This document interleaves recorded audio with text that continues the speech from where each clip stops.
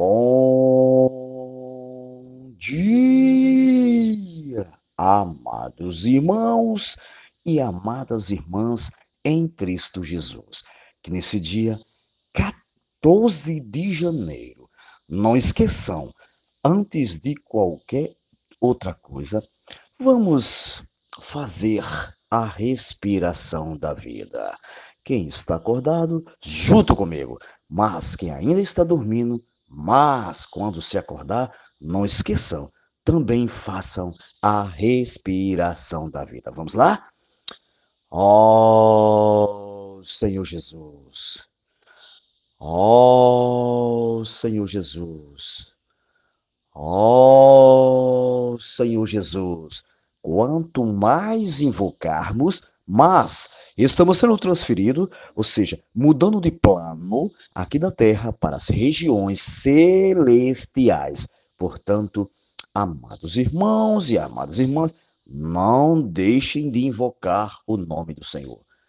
Quanto mais invocarmos, mais primeiro estamos sendo salvos de nós mesmos. E depois, se continuarmos invocando, com certeza a salvação pode ser alcançada toda a nossa casa. Portanto, Vamos invocar mais o nome do Senhor.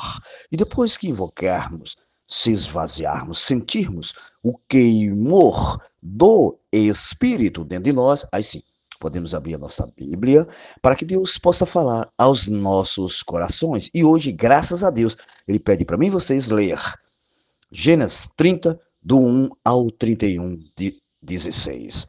Mateus 10, 1 ao 23. Salmos 12 e Provérbios 3, 13 ao 15.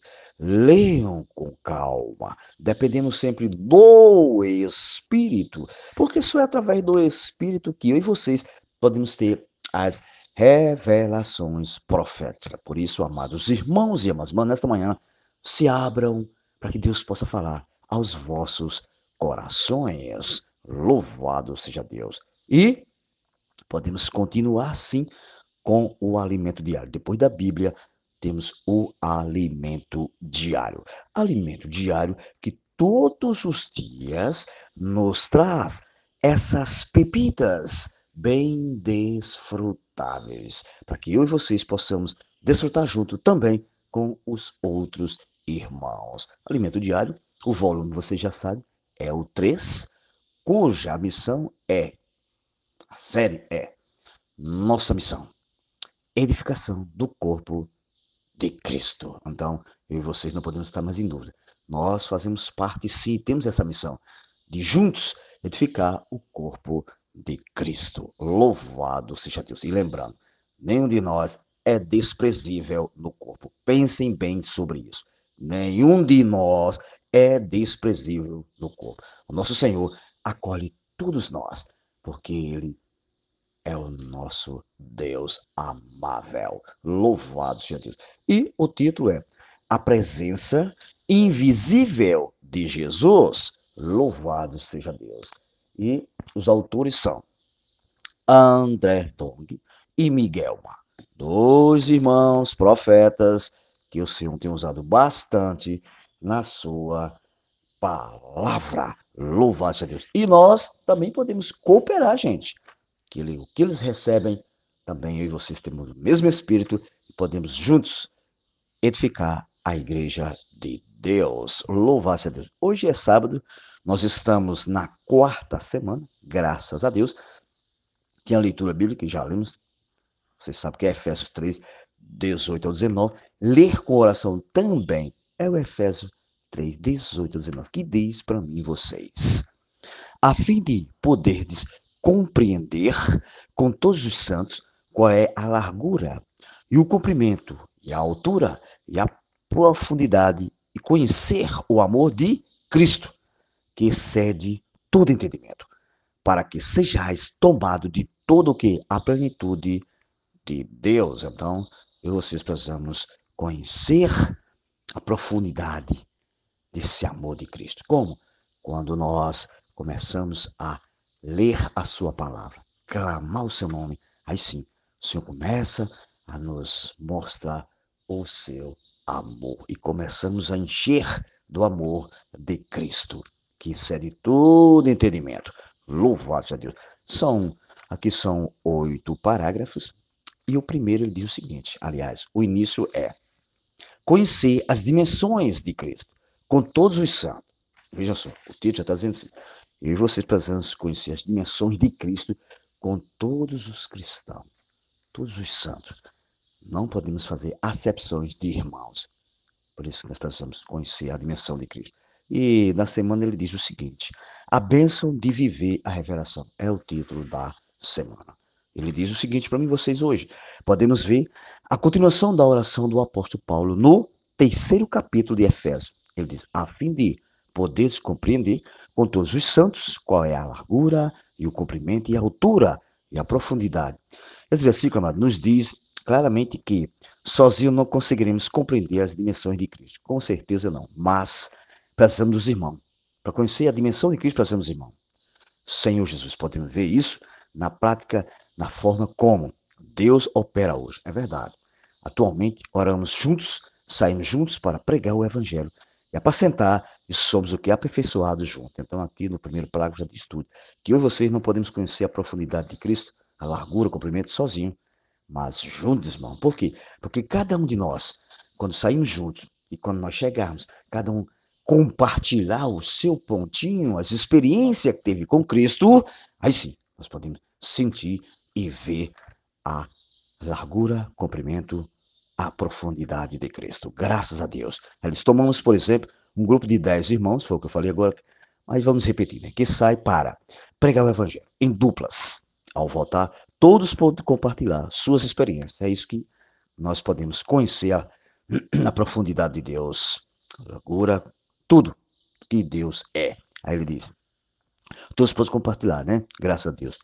Ó oh, Senhor Jesus. Se no final ah, Senhor Jesus. Aí ele diz, sim, um compartilhar a largura, outro, outro compartilha o comprimento, outro compartilha a altura e outro compartilha a profundidade. No final, todos, olha, constante, constata, aliás, que Deus dá experiência em todos os aspectos. É verdade. Isso quer dizer, amados irmãos e amadas irmãs, que individualmente não experimentamos todas as dimensões de Cristo. O nosso Senhor é imenso, gente. Não tem como a gente desfrutar tudo de Cristo. Tem que ter os irmãos para juntos ver o que o Senhor realmente é.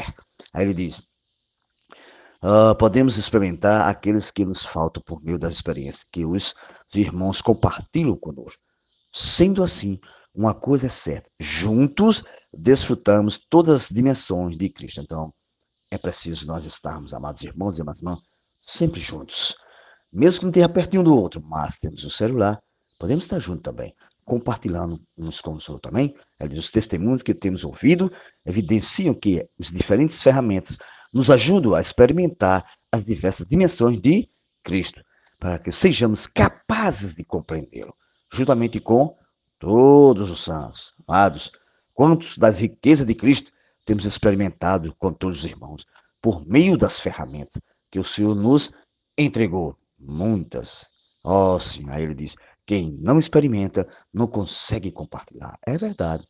Amado, lembre-se, você tem uma porção, uma parte das dimensões de Cristo. Então, cada um de nós que saímos para pregar o Evangelho, com certeza nós vamos, nós temos essa porção de compartilhar com as pessoas lá fora.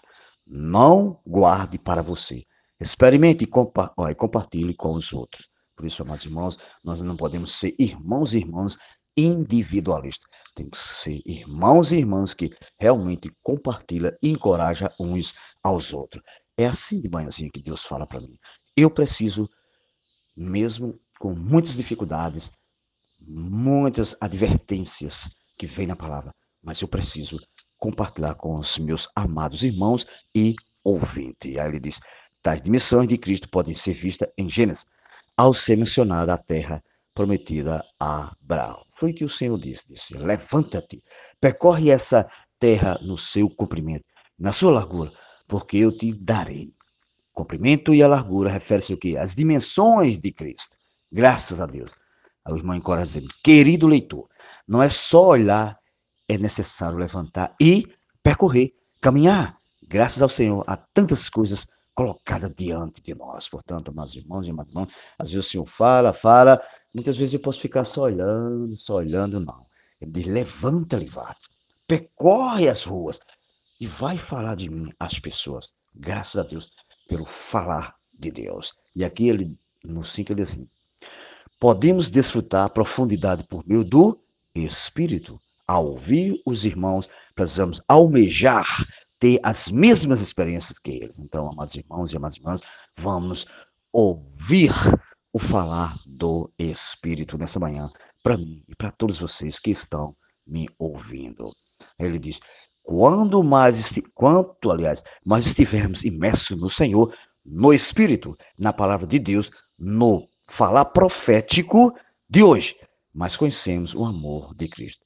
Quanto mais houver a prática do mover de Deus, mais de Cristo, o cabeça nos usará para ser, para seu corpo, para fazer o que ele determinou. Então, amados irmãos e amadas irmãs, não fiquem mais em dúvida. Deus sempre está dando porções para mim e vocês para falar às pessoas. Amados, Cristo está cheio de amor. Portanto, eu que sou seu membro, também estarei cheio de amor. Um amor que excede todo entendimento.